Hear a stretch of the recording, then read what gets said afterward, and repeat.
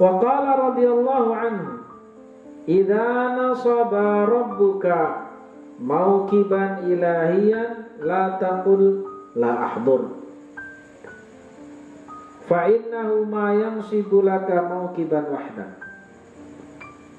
udkhul fi barakatis salihin walau qa'adta indahum wa anta ghafil walakin laka niyatun salihah na'atuka mimma ma'hum humul qawmu lam yashqa bihim jalisun Apabila ada di mana majelis yang baik kita diundang, jangan pernah bilang saya tidak bisa datang.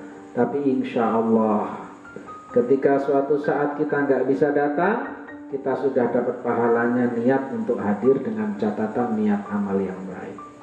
Ketika kita bisa hadir di sana, maka kita akan menjadi orang yang tidak sendiri, tapi berkumpul dengan orang-orang saleh.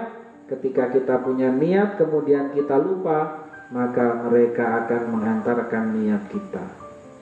Karena mereka adalah orang-orang yang tidak pernah celaka selamanya,